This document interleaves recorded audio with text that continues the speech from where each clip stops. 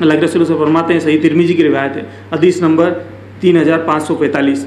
कि उस आदमी की खाक, नाक जो है, खाक आलूद हो। नाक यानी खाक आलूद हो। खाक यानी कि मिट्टी में मिल जाए। अब कितनी बड़ी बदुआ अगर इसको गौर करे तो यानी कब मिट्टी में कब मिलता है? मरने के बाद। तो कितनी सारी अल्लाह के रसूल ने उसको बदुआ दी कि इसकी जो है, या फिर मुहावरतन भी कहा जाता है अरब के अंदर। तो ये कि उस वक्त के किसकी खाक नाक जो है, खाक आलू दो, कि जब मेरा नाम लिया जाए और मुझ पर दरूद ना भेजे, उसके लिए वही है। खास कर क्या कौन सा नाम? मोहम्मद सल्लल्लाहु अलैहि वसल्लम। तो ये जब भी नाम आए तो हमको दरूद भेजना लाजमी है, नहीं तो उसके लिए बदुआ भी सुनाई गई है। और एक जगह तो आमीन कहकर बदुआ की गई। आमीन का अल्लाह के रसूल वसलम ने। यह मुस्तदर मुस्तदर हाकिम की रिवायत है, हदीस नंबर सात हज़ार दो सौ छप्पन।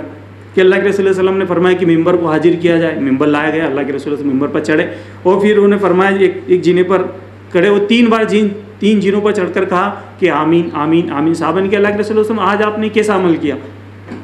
कभी आपने ऐसा नहीं किया कि आप एक जीने पर चढ़े हो, आमीन, फिर दूसरे पर आमीन? तो फिर पूरा उन्होंने वाक्य बताया कि जिबरील लाए हैं और मुझसे वो कहते हैं, वो मुझसे कह रहे थे, उन्होंने मिंबर मंगवाया और मुझसे कह रहे थे कि उस आदमी के लिए हलाकत हो, बर्बादी हो कि उस आदमी के लिए हलाकत बर्बादी हो, जो जिसके सामने मेरा नाम लिया जाए और मुझ पर दुरूद ना भेजे तो उन्होंने कहा, जबरील ने कहा कि नबी नबी सल्लल्लाहु अलैहि वसल्लम कहो, आमीन। तो मैंने कहा, आमीन। तब देखिए, मलाइका के अंदर सबसे अफजल फरिश्ते अम्बिया के अंदर सबसे अफजल रसूल, और वो दुआ कर रहे हैं और आमीन वो कह रहे हैं। कितनी बड़ी वही है कि नाम लिया जाए तो और कोई उसको ना ना पढ़े। तो दुरूद उनको भेजा जाना चाहिए और इसमें एक और आता है कि रमज़ान पाए, अपनी मकबरत ना करवा सके तो उस पर भी आमीन कहा। और एक और आता है कि जो अपने माँ बाप को पाले और उनकी खिदमत करके अपनी मकफरत ना करवा सके तो उसके लिए भी हलाकत और बर्बादी है तो दरुद सलाम की भी इसमें हमको फजीलत मिलती है। और एक रिवायत में फरमाए कि वो शख्स वकील है और कंजूस है। ये सुनन तिरमिजी की रिवायत हदीस नंबर तीन हज़ार पाँच सौ छियालीस। कि वो आदमी वकील और कंजूस है जिसके पास मेरा नाम लिया जाए और मुझ पर दरुद सलाम ना भेजे। तो वो कंजूस आदमी है, वकील आदमी है। और दुरूद के अल्फाज क्या हैं? दुरूद के अल्फाज वही हैं, जो हम अजान के बाद हमको पढ़ने के लिए कहे गए, जिसको हम दरुद इब्राहिमी कहते हैं।